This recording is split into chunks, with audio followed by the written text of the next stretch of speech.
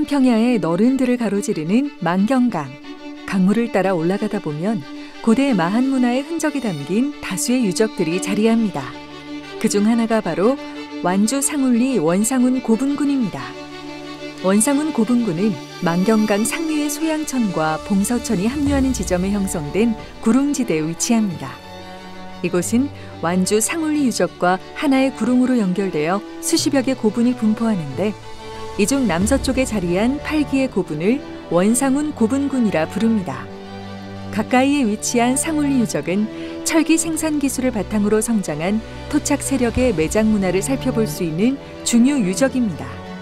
2003년에서 2006년 전북대학교 박물관에 의해 원삼국부터 삼국시대에 해당하는 30기의 분구묘와 167기의 매장 시설, 철제 도구를 만들던 단야구 수십여 점이 발견되면서 학계의 많은 주목을 받았습니다.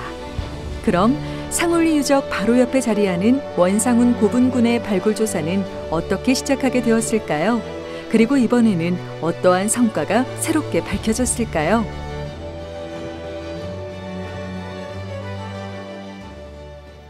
완주 상훈리 유적은 전북 지역 마흔의 대표적인 핵심 유적입니다. 이번에 그 국립완주문화재연구소에서 조사 대상으로 선정한 원상훈 고분군은 기존에 발굴 조사되었던 상훈리 고분군과 구릉선상으로 연결되어 있습니다. 그런 점에서 시대적 문화적으로 비교 검토할 수 있는 중요한 학술 자료를 확보할 수 있을 것으로 기대하고 있습니다. 아울러 연차적인 발굴 조사를 통해서 상문리 유적 일대의 중요성을 재조명하고 국가사적 지정을 통한 지속적인 보존관리 발판을 마련하고자 합니다. 원상 고분군에 대한 1차 발굴 조사는 중심부에 자리하고 있는 사무분을 대상으로 진행되었습니다. 2021년 시굴 조사를 시작으로 2022년 3월부터 7월까지 약 4개월간에 걸쳐 발굴 조사가 이루어졌습니다. 사무분의 외형은 흙을 쌓아 방형의 분구를 만들고 가장자리는 도랑 형태의 주구를 두른 모습입니다.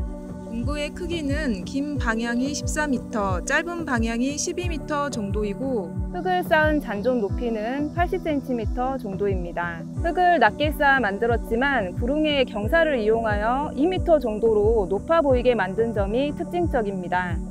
분구를 쌓는 과정은 다음과 같습니다. 먼저 자연 지면을 다듬고 암갈색 점토를 얇게 깔아서 고분의 기초를 만듭니다. 이후 흑갈색 점토와 젓갈색 사질 점토를 교차로 쌓아 올려 첫 번째 송토층을 단단하게 만듭니다. 다음으로 중심부에 묘강을 파고 시신을 넣은 목관을 안치합니다. 이후 묘관과 목관 사이에 점토지를 흙을 채워 고정시킵니다. 마지막으로 목관 상부와 첫 번째 송토층 위로 황갈색 사질 점토를 전체적으로 덮어 송토를 마무리합니다. 사무분의 매장 시설은 목관묘 두기와 온관묘 세기가 확인되었습니다. 이 중 분구의 중심부에는 1호 목관묘가 자리하고 분구의 가장자리나 주구 내부에는 2호 목관묘와 온관묘 세기가 추가 매장된 상태입니다. 1호 목관묘는 사무분의 가장 중심부에 높게 위치해 있습니다. 목간의 장축은 북서에서 남동 방향으로 조성되었습니다. 목간의 규모는 길이 354cm, 너비 70cm의 세장한 형태입니다. 상운리 유적 일대에서 확인된 목간 중 가장 길이가 긴 점이 특징적입니다. 목간 내부에서는 양이부와 뚜껑 한 세트, 그리고 단경우가 출토되었습니다. 사무분의 추가 매장 시설인 2호 목관묘는 고분의 동쪽 주구에 위치하고 있습니다. 잔존하는 목관의 크기는 길이 205cm, 너비 70cm 정도이며 토기만 부장된 1호 목관묘와는 달리 소형 철부, 철겸 등 농공구류가 출토되었습니다. 온관묘는 사무분의 추가 매장 시설로서 남쪽 주구에서 모두 3기가 확인되었습니다. 1호 온관묘는 하나의 웅을 이용하였으며 잔존 크기는 길이 140cm, 너비 100cm입니다. 길고 크게 외반된 구연부의 형태로 보아 선악리식 온관으로 판단됩니다. 관으로 사용하기 위해 만들어진 전용 온관이며 온관 아래로 세매의 돌이 함께 확인된 점이 특징적입니다. 다음 3호 온관묘는 둥구와 가장 가깝게 위치합니다. 길이 67cm, 너비 47cm이며 일상용 토기인 주구토기와 호영토기를 활용하여 매장한 학계식 온관묘입니다.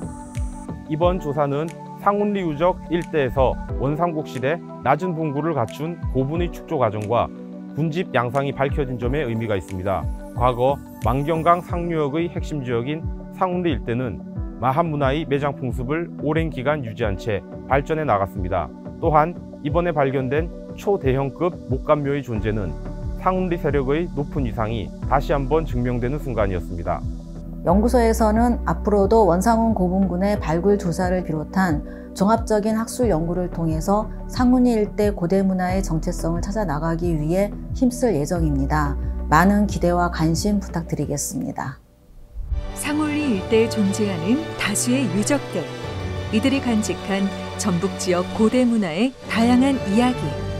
우리 곁에 점차 선명하게 다가오길 기대해 봅니다.